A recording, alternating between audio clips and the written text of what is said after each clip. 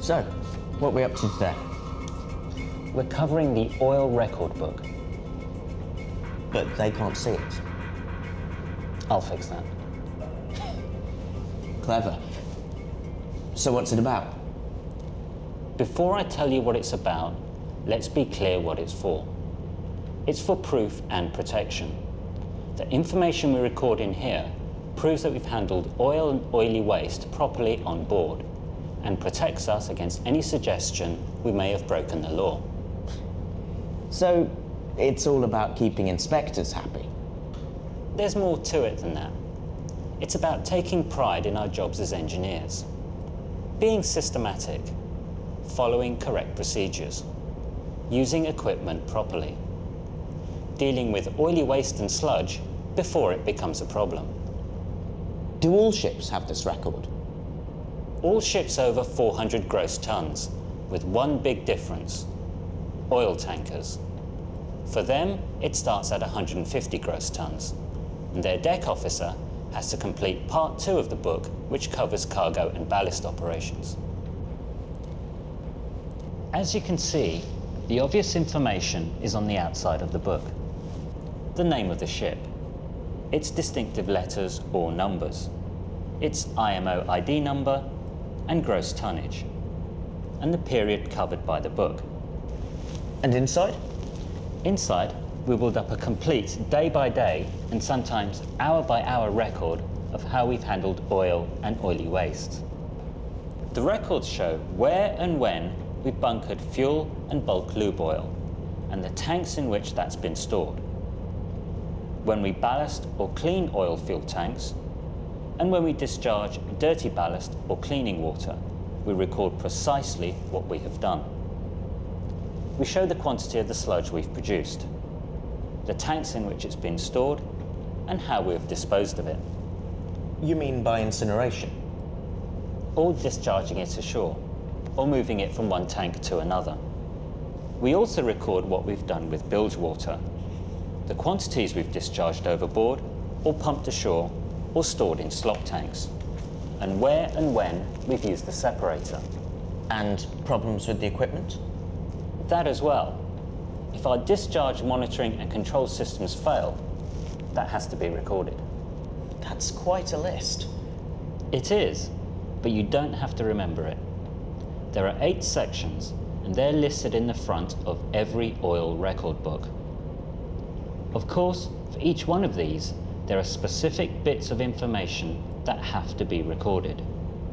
We'll talk about what they are in a moment, but before we do, have a look at section G. Accidental or exceptional discharges.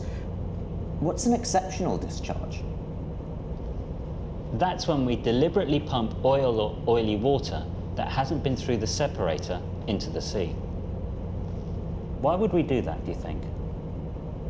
Because we're curious to see the inside of a jail. Come on, seriously. Some kind of emergency. Right. If the ship's in danger, or to save someone's life. It sounds a bit extreme. It is. This is a last resort in a real emergency. And if it happens, the authorities will need to be convinced that it was justified. When the book asks you to record the circumstances, reasons, and general remarks, that means a full description, backed up by the ship's log and whatever other information is relevant. Don't worry, if you're lucky, you'll go through your whole career without having to do this. Has that ever happened to you? Once, years ago, on another ship, the stern gland blew in at sea. Until we could repack the gland, we needed every pump we had to pump the water coming in back overboard. That sounds like a busy watch. That's one way to describe it. Once is enough. We'll look at what has to be entered in a moment. But first, and very important, timing. When you're operating the separator, you must make note of every piece of information you need. Times, tank soundings, whatever, as you collect it. So we don't forget and make mistakes. Exactly. It's better to use a notebook rather than loose bits of paper. Then, as soon as you've completed the operation, go to the control room or wherever you keep the record book and use your notes to complete the official record. Don't leave it till later. Now for the details. Choose a section. Okay. Um, how about discharging bilge water overboard through the separator? That's D, isn't it? That's right. When an engineer is operating the separator, what sort of information do you think he'll need to record? Start and finish times? Yes, and? The bilge holding tank soundings. Exactly. We've got to be able to calculate and record the exact quantity we discharge overboard. So we sound the tank before we start and after we finish. And this ship has a separate oily bilge tank to take discharges over 15 parts per million. So we record before and after soundings for that as well. We also keep a dips book. We do a daily dip of the double bottoms and the duty engineer signs it. That's not a regulation. No, but it's good practice. Every ship in this company's fleet keeps one. So, what's in the record book? As you can see, it's exactly what common sense suggests. How much we discharged, how long it took, and where it went. Now, let's look at how to enter the information. Here's a blank record page. After the date, come the code letter and the item number. In this case, the code letter is D, and the first item number is 13. So that's the first entry, the quantity. And in this case, there are two more. Do we always use capital letters? Always. Most engineers are like doctors. No one can read our writing. And notice as well that the entries are in ink, never pencil. So they can't be altered. Correct. That's for your protection. No one can change what you've written. And when you've completed the entry, sign and date it. What if I make a mistake? You cross out what you have written using a single line like this.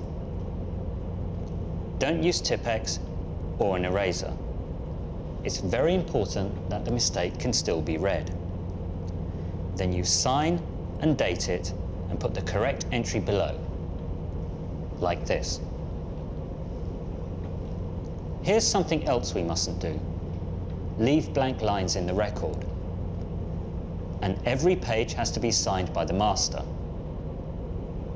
Incidentally, though this isn't a regulation, some companies require the chief to sign as well. So it's all pretty straightforward. We look in the front of the book to check precisely what we're supposed to record for whatever we're doing, write it down, sign it. Is that it? Yes, but we have to get the details right. Look at this entry again. We have to record where the ship is because the regulations say when we're discharging oily water, the ship has to be underway, en route, so that we're spreading the stuff out and not dumping it in one place. So, recording the position of the ship isn't to do with special areas? No, but that's a good question. What do you know about special areas? Well, they're defined in MARPOL. They're areas of the ocean that have fragile environments, like um, shallow landlocked seas and the uh, cold waters of the Antarctic and so on.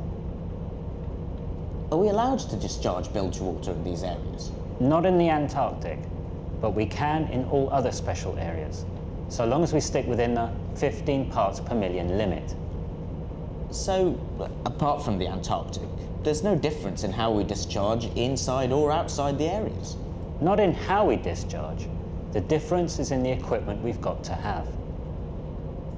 Outside the areas, only ships over 10,000 tons have to have the bilge alarm and an automatic cutoff which prevents discharge above 15 parts per million. Inside the areas, it's all ships above 400 tons. You remember I said there was a part two of the book? Is that the one deck officers have to complete on oil tankers? Spot on. you have to make sure that the records of transfers are consistent between both parts of the book. You mean transfers from engine room sludge tanks to slop tanks? Correct.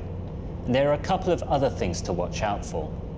First, the connection between engine room and deck must comply with class rules. It must have non-return valves and a removable section of piping. No flexi hoses in case the burst causes pollution. We don't want cargo or vapours getting back into the engine room. And the method of transfer must be listed on the IOPP Form A. Why do you think that matters? Port state control? They don't trust pipes that don't officially exist. And the problem is made worse because of the relative sizes of the tanks. 20 cubic meters of sludge transferred to a VLCC slop tank will hardly affect the tank level. It'll look as if the sludge has disappeared. So port state control may want to see the IOPP documents. That reminds me of something else that's important. Names. Names? When you're filling in the record book, you have to be careful to use the tank descriptions from the IOPP Form A. Don't call a waste oil tank a holding tank if that's not how it's listed on the form. Here's another detail. Look at this entry. It's about disposing of sludge ashore. There's something missing. Can you see what it is? Uh, not really. Can I check the list? Of course. Always check the list if you're unsure. Hmm. Let's have a look. C, 12.1, to reception facilities. That'll be New York, so done that. Of course. Get a receipt. That's it. It's so we can prove that this sludge went to the port facility and not over the side one dark night. We include the receipt number in the entry and file the actual receipt with the record book. You keep talking about proof. Is it the port state inspectors we have to convince? Well, remember what I said earlier. Even if there weren't inspectors, we'd still want to be able to show that we'd done our jobs properly. But to answer your question, yes. The inspector will want to see that we're keeping proper records, and importantly, that those records make sense. For example, look at this entry. Tank capacity, 3 cubic meters. How would an inspector know that information is correct? From the IOPP Form A. That's right. And look at this entry about discharge overboard through the separator. What do you think? The throughput looks very high. 9 cubic meters in one hour. Exactly. When the authorities see that, they'll want to check the throughput, not just on the IOPP certificate, but also against the manufacturer's manual and the type certificate. And if the maximum is 5 cubic meters an hour, they'll want an explanation. So we've also got to keep our manuals and certificates up to date. And sometimes they'll want to see our maintenance records as well. But as well as all of that, the numbers have to agree. As you can see, in this case, they don't. 74 tonnes of sludge have been produced. 50 tonnes have been incinerated. And 10 tonnes retained in the tank. This doesn't add up. An inspector is going to want to know where are the other 14 tonnes? Where did they go? So that's about it. The oil record book. Okay. Well, now, I know what this book's about and how to fill it in, but what about them? Thanks for the reminder. The oil record book is a complete record of how we handle oil and oily waste in the machinery spaces on board. Everything we do has to be recorded. It's not difficult. Just follow the instructions at the beginning of the book accurately. And as long as you've used the correct procedures and made the entries properly, you'll be fine.